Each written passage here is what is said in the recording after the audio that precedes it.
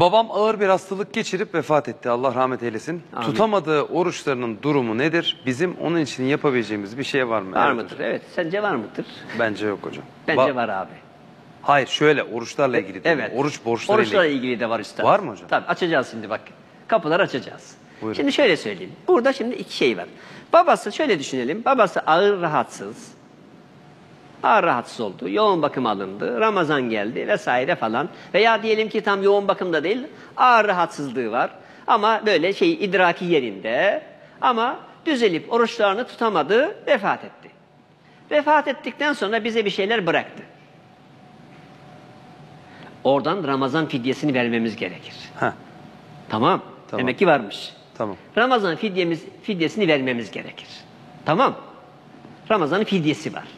Yani 30 gün, 30 gün kaç gün tutamadı? 20 gün, 20 gün. O belirlenir. Babasının adına değil mi Tabii, hocam? tabii yani o belli zaten. Onu bir, özel böyle adrese teslim kargo gibi düşünme üstad. Onu böyle genelde bir de kargo yani yanlış yere gitmesin diye böyle bütün teferruatıyla yazıyoruz. Dualar öyle değildir. ibadetler öyle değildir. Ve tamam mı? Teferruatlı adresi bildi değil. Onlar bilir. Ağzından çıktığı an bile değil. Gönlünden efendim gönlüne düştüğü an, zihnine düştüğü an, idrakine düştüğü an Rabbim onların hepsini görür. Korkma. Eyvah boşa gidiyor deyip de adrese teslim yapma. Ben talebeyken efendim Kur'an kursunda okuyoruz. Bir zengin bir abinin biri bize yardım edecek. Yardım edecek ama yani yardım eziyeti dönüştürüyor. İşte bu kızım için diyor bu ey, eziyor, mahvediyor. Öyle değil. Duaları da öyle yapmayalım. Yani öyle teferruatlı vesaire falan filan.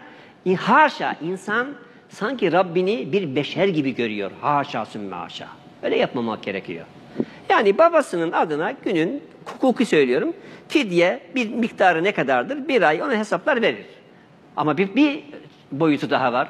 Babası hiçbir şey bırakmadı. Evet. Kendi de zengin değil hiçbir şey. Zaten la yukellifullahu nefsen illa vusaha. Allah onu malik olmadığı bir şeyle mükellef tutmaz ki. Babası da ondan dolayı da cehenneme gitmez. Zaten ağır hastaydı yapamadı. E benim de onun namına verecek hiçbir şeyim yok. O zaman hiçbir günahı yok. Peki hiç tutmadıysa babası oruç? Aynı az önceki e, hanımefendinin sorduğu soru gibi. Üstad orada da gene yol var. Alişan kardeşim benim var. Babası öyleydi vesaire ama unutma benim babam. Bak burada çok güzel bir örnek vardır. Çok güzel bir örnek vardır. İkrime bin Ebi Cehil örneği. Ebu Cehil biliyorsunuz Ebu Cehil'in oğlu İkrime. O da babası gibi 20 sene peygamberimize düşmanlık etmiştir. Babasını geçmiştir. Ebu Ce- Cehil'den daha azılı bir düşmandır. Mekke'nin fethinden sonra eşinin vasıtasıyla Müslüman olur. Müslüman olmaya karar verir. Müslüman olduktan sonra peygamberimize gelir. Hatta peygamber sallallahu aleyhi ve sellem ona binekli muhacir diye espri yapar. Dağlarda biraz kaçmış. Hoş geldin binekli muhacir diye espri yaparak karşılar onu. Sonra da ama daha sonra insanlar durmuyorlar ya bizim günümüzdeki insan Hazreti Adem'den beri aynı insan. Gene onu gördüklerinde bazı insanlar böyle kendini bilmeyen birkaç kişi sahabenin tamamı değil şöyle işaret edip dermiş ki bak Allah'ın düşmanının oğlu geliyor. Allah'ın düşmanının oğlu geliyor duyuruyorlar ona. Peygamber sallallahu aleyhi ve sellem o insanları topluyor. Diyor ki la tesubbu ebahu. Onun babasına bir daha hakaret ettiğiniz görmeyeceğim. Fe inne subbel meyyit yu'zil hayye. Çünkü ölüye hakaret diriyi de üzer. Ölüye hakaret diriyi de üzer. Ya benim babam. Şimdi döndük geldik buraya. Ya benim babam. İyi, efendim iman etmediğini söylemiş.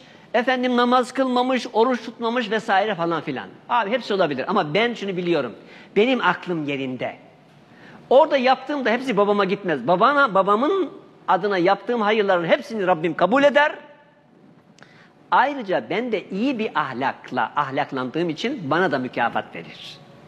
Şimdi şöyle düşün. Ben babamın adına bir fakiri sevindirirsen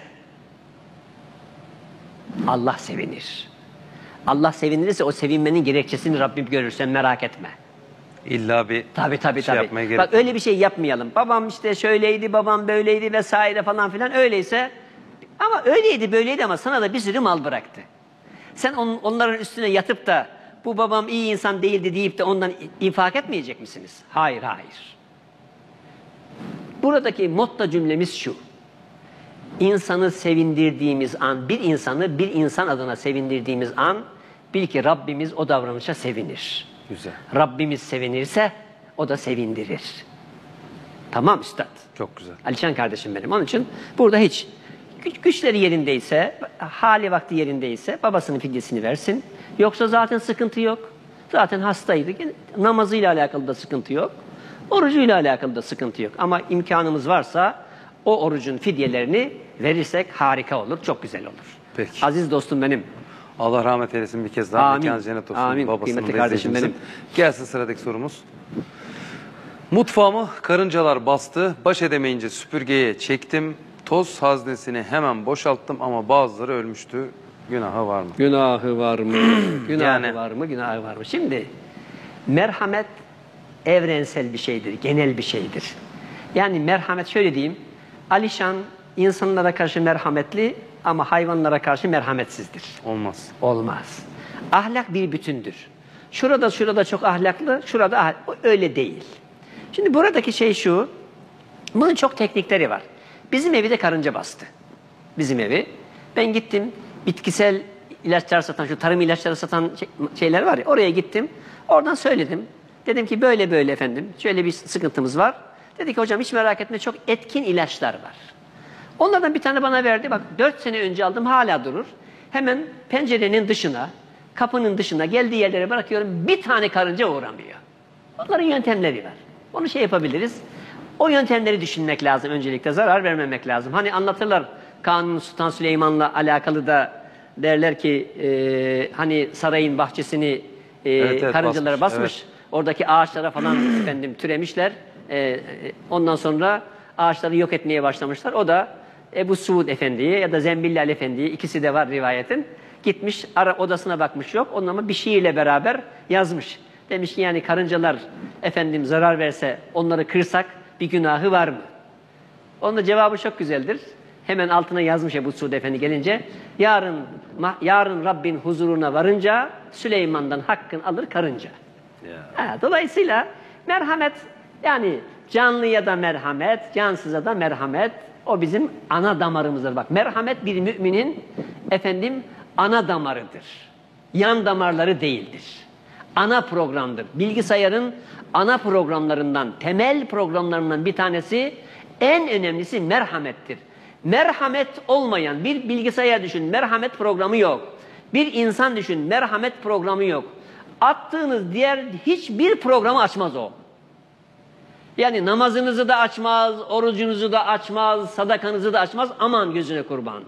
Merhamet, merhamet, merhamet. Rabbim yarattı mı yarattı merhamet. Ama kardeşim de gene merhametli. Demiş ki efendim yani hemen aklım başıma geldi. Birkaç tanesi şey yaptı. Döndüm diyor. Dönmüş yani. E dönünce de buna söyleyeceğimiz sözü kardeşim Rabbim seni affetsin. O karıncalar da senin bu üzüntünden dolayı onlar da seni affeder diye düşünüyorum ben. Ama bir daha yapmamak gerekiyor. Daha pratik tedbirler var. O tedbirleri alalım. Onunla efendim onları evin içine sokmamaya çalışalım. En azından hocam soruyor işte bazıları ölmüştü günahı var mı diyor. Evet bazıları olmuş günah var. Bu soruyla o günahı affettirdi diye düşünüyorum. Yani oradan bir kaygısı Merhametli var. bir insan Endişesi var. Merhametli bir insan. Hocam bırakın karıncayı, canlıyı, Evet. cansız varlıkta şu bitkiye mesela. Yani Evet.